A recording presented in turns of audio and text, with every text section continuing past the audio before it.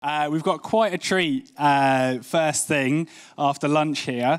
Um, it's uh, it's going to be uh, absolutely fascinating to watch. Um, but just to kind of give you a bit of an idea, um, so Steve Bennett uh, is a, a, businessman who's uh, been openly admits to spending most of his adult life seriously overweight. Um, and even though he is a bit of an adventurer, having walked to the North Pole sailed across the Atlantic with his children.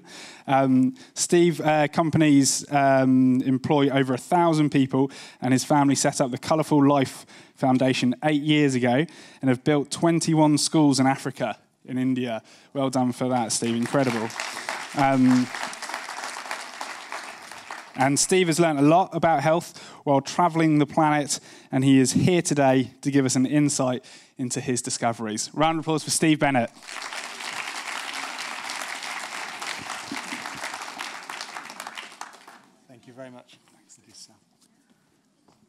Um, let me introduce you first of all to my father, who's going to come up and do a bit of an experiment. This is my dad, uh, Arthur. He's going to sit there. Dad's amazing. Um, sit down, Dad. You have, you, you, you, 79, sadly last year diagnosed with diabetes type 2. And uh, Tom, uh, one of my children, is going to sit over here for me if you can, Tom. Uh, thank you very much, Tom.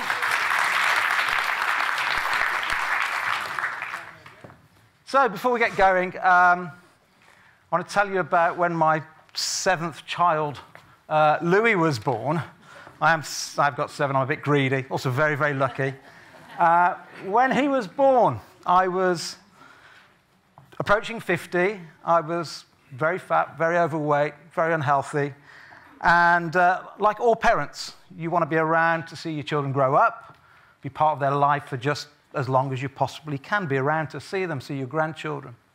So, about four years ago, I stepped back from my companies and said, Right, I've got to figure out what the hell's going on with this obesity because I couldn't work it out. I thought I was doing all the right things. So, I surrounded myself with doctors and nutritionalists, and uh, in my wife's own words, I became a health book addict. Um, I read many, many great books In fact, there's my seven children. Uh, apart from the one on the right, that's my wife. Uh, any confusion, sorry. Uh, and a granddaughter now as well. Um, so I started to read, oh, that's me, very obese, um, a few years back. So I started to read some great books. Uh, Zoe's books have been very inspirational uh, and, and a great, great read. Now, one thing I haven't yet mentioned is I'm dyslexic. And uh, when I ran through her, who's here, uh, our next speaker is called Robert Holden, who's going to be a great, great speaker, but I thought it was this gentleman, uh, being uh, Patrick Holford, was going to be here. So I was going to say, well done, Patrick, for a great book.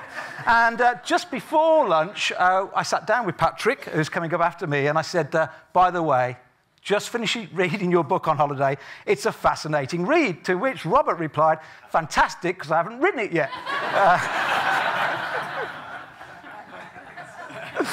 Uh, Great book uh, by Robert I just read uh, recently, Hacking the American Mind. Brilliant book. If you haven't read it, please do read it. So, all in all, I have now devoured 427 books, even more white papers, and all in an attempt to find out what was going wrong with my body and what was going wrong with the bodies of lots of my friends, and how can I stay around to, be, to see my kids grow up? How can I get more healthy? And what I've discovered on this four year journey is quite horrific. I've discovered that we can't trust any information on food packaging at all. I've discovered all that low food stuff that everybody was recommending to me while I was obese for 20 plus years, rather than helping me lose weight, was keeping me fat.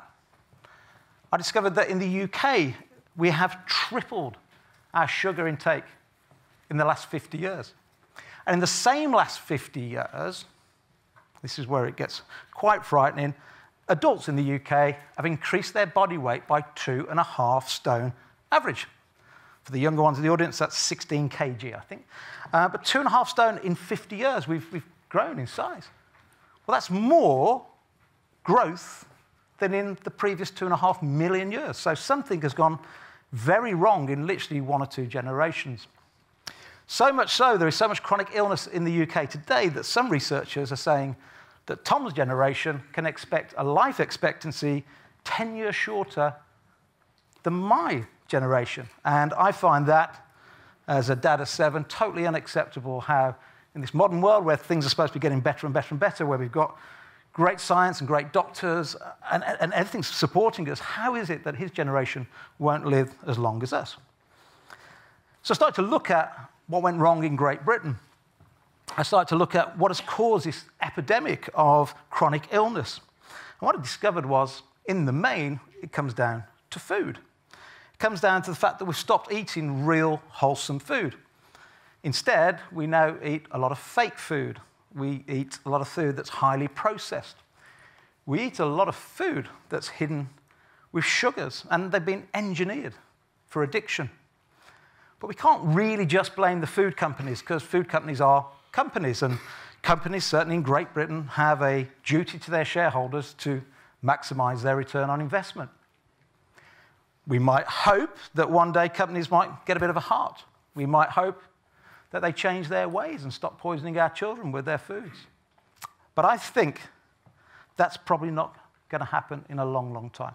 Not because they just decide to do it. You see, I think we've got to fight a different battle. I think we've got to choose our battle more wisely to make sure that our children outsurvive us and not the other way around. So I started to look back in history and look where it all started to go wrong. And it seems to me that we just pretty much cut and pasted in the 70s the American pyramid of healthy food. And that pyramid of healthy food is full of carbohydrates at the bottom. And uh, I have to be careful here because I'm sure I stole this off, off, off, off Dr. Zoe, um, uh, where she says that that food pyramid, or it might have been Robert, I'm not, I'm not sure, uh, that food pyramid was more about corporate wealth and government wealth than consumer health. And just like it did in America, all of a sudden we started getting a lot fatter and we started to get a lot more chronic illnesses. Um, which sadly my family have witnessed firsthand. My dad lost his dad and his mom to cancer. My dad lost his lovely sister Avis to cancer in her 50s. And just two months ago, we buried Tom's and to my daughter's piano teacher, aged just 34, uh, died of cancer. He was humble and lovely, wasn't he? Lovely man. And a few years prior to that, we buried our 22 year old nanny to our children, again from cancer. Now, I'm sure everybody in this room has got similar stories with their own family and their own friends, and certainly many of you GPs will have lots of stories that are sad stories with your patients. Bring it right back home again. Dad, last year, diagnosed with diabetes type 2, and my mom with early onset dementia. And this has all come in one or two generations. So we can no longer, I believe, just accept what is unacceptable. We have to change it. And I believe quite firmly, having researched a lot and spent a lot of time with doctors, and I'm sure we're all singing the same hymn sheet, that most chronic illnesses, whether that be whether be strokes, whether that be Alzheimer's, diabetes, whether that be heart disease, whether that be obesity or cancer, can all be linked to a poor diet. And I fundamentally believe that the battle we need to fight is to change that Eat Well guideline because it is anything but an Eat Well guideline.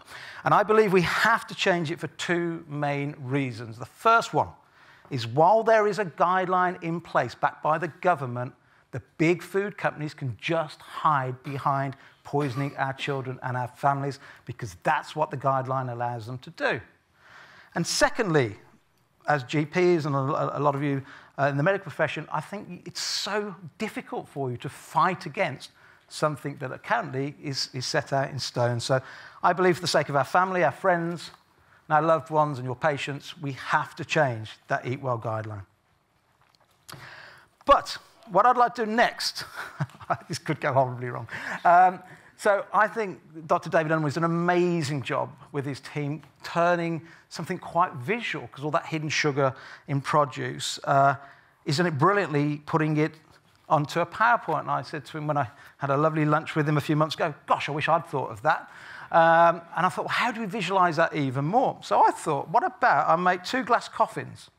And I lie my dad in one and my son in the other, and let's discuss what food, a bit different with dad and Tom, because I've been a, a, a, nutrition bore for about four years now, so uh, we, he's, got to remember what he used to eat.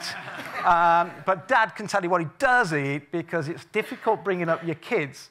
It's almost impossible to bring up your parents. Um, so, um, right, Tom, you're going to come and jump in here, and I might need one of my team to come and help me get my dad into his little glass box.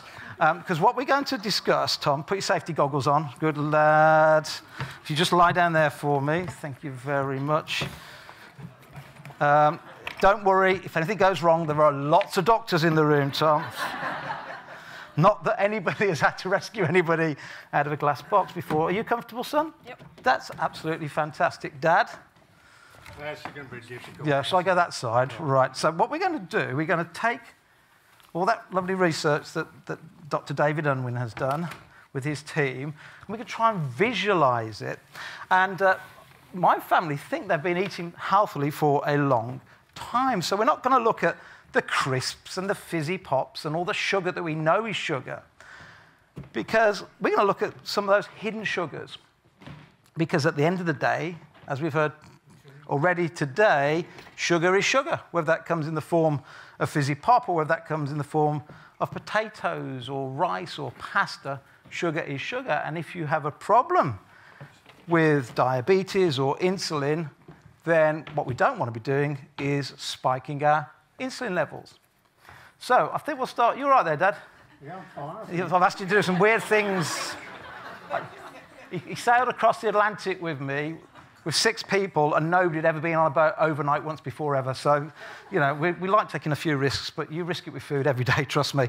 Right, Tom, you might need to shout loud because you've not got a microphone. Got it. But can you remember what you used to like for breakfast before I became a, a nutrition nut? Uh, I used to eat I used to eat cornflakes, but I never added too much sugar. You didn't add too much sugar. That's a good boy. Let's see if we can quickly just find where cornflakes. So it's not scripted, but I know what he does eat, but I don't know what order uh, he was going to say anything in. So in cornflakes, and uh, the, by the way, when you read those things on the side of packaging, uh, it always says 30 grams. Well, I did with Dr. Dan a little experiment the other day, and you put 30 grams in front of even a three-year-old, and they're screaming for more food. Right? Nobody eats 30 grams of cornflakes. What Tom's portion equated to uh, was more like 80 grams, his average portion, and that equates to 22 sugar cubes, the, the equivalent effect on the glucose level inside the body. What I've got to ask you, Thomas, how often did you eat that? Six or seven times a week. Six or seven times a week. Well, that, well, let's just go with six, shall we? There are 2,000 sugar lumps in here. oh, I didn't think it'd break up like that. You got spare clothes? No? Okay. So there's 2,000 sugar lumps I don't think we'll even get to the end of this experiment, mate, because that's two, four. That's how much Tom eating, because he just confessed to not putting much sugar on. That's what he ate in sugar in 12 months, hidden inside of cornflakes. Dad, we'll leave you for a little bit because I don't want to do this to you so quickly. Uh, we never had Coke, so we wouldn't let you have Coke. What about drinks? What do you used to drink? I used to drink uh, orange juice and apple juice. Which one? Just pick one. Uh, orange juice. Orange juice. And how often do you have orange juice? Uh, three to four times a week. Three or four times a week. Let's go for four times a week. Uh, well, you get another 2,000, pretty much there. It's on 1,700. I'm probably going to stop there. I could go on for ages. But that, in just a healthy breakfast that I thought as a dad, because of those guidelines and because what it said on the packaging, I was poisoning my kids with that much sugar every single morning when I could have been giving them eggs. I could have been giving them eggs and bacon and salmon and things that are healthy and nutritious, but instead I fell for what it said on the label. And that's why we have to change the guidelines. Dad, I'm just going to come over to you.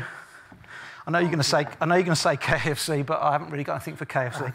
Um, what do you like to eat, Dad? Um, breakfast or what? Oh, no, d- dinner for you. Dinner for you. Let's Dinner. go. Let's go dinner. Uh, curry, Curry, yeah, okay. chili, Chili, good. Yeah, I haven't got any of those. Keep going. What, uh, what do you have with it every time? Uh, chips or rice? chips or rice. Stick with that. We'll stick with chips or rice. So let's go with rice. So I know my dad, and I measured just recently his rice portion, uh, which was 300 grams uh, in a serving, which equates to 20 cubes of sugar in a serving when he thinks he's eating healthily. Now, for his sake, he, I know he has it like three or four times a week, but I'm not going to throw that much on you, Dad. That's really unfair. yeah, I'll tell you what. Just, just have, just have, just have, just have. That's rice twice a week, folks. That's rice twice a week uh, for my dad. Dad, what else do you like eating, mate? What about fruit? What sort of fruit do you like? Who, me? Yeah, what, yeah. I couldn't see you then. Don't worry, all. I'm still here. Uh, what, what, Raisins, I love raisins. Raisins, I'm glad you picked that one. Uh, oh, let's go back that way. Raisins. Well, raisins are very full of sugar, Dad, and I know how many you have. Uh, so it's about 10 cubes of sugar, and I know he has it three or four times a week, but let's just go with another 2,000 because he's my dad, and I don't want to kill my dad with sugar, so we won't do the whole lot. Uh, right, this is not staged, right? I think the poor banana's had a really tough time already today. We've all slated the banana, but Tom, what do you used to take to school every single day?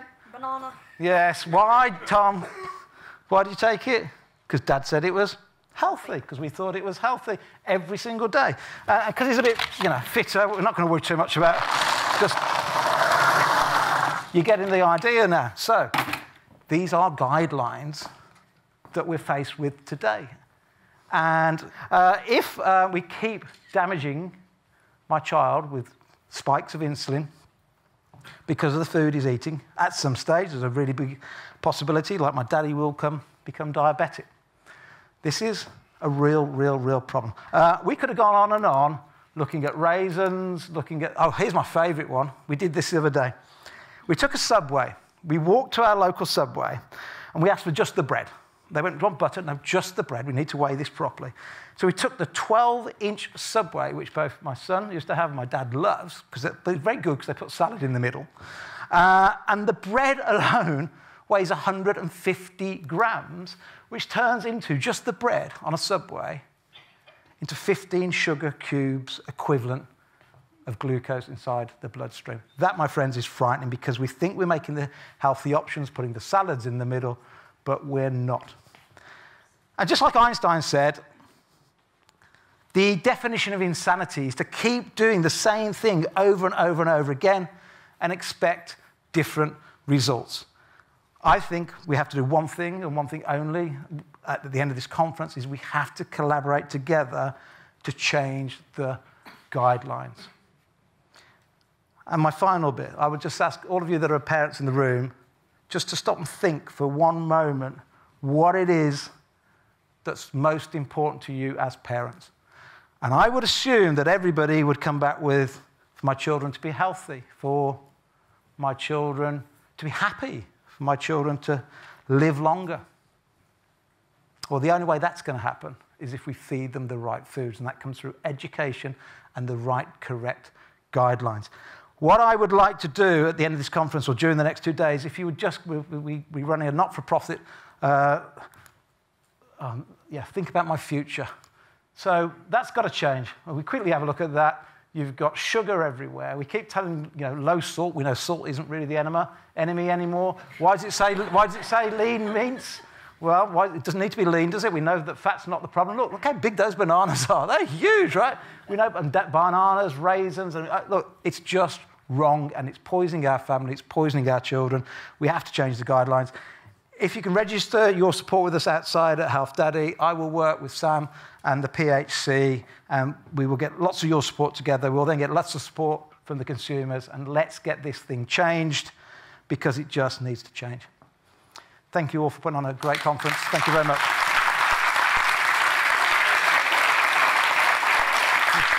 You're right there, Pop. It's still breathing, all right? He's still breathing. So, Steve, yeah. ask anybody out there uh, who would like a sugar daddy.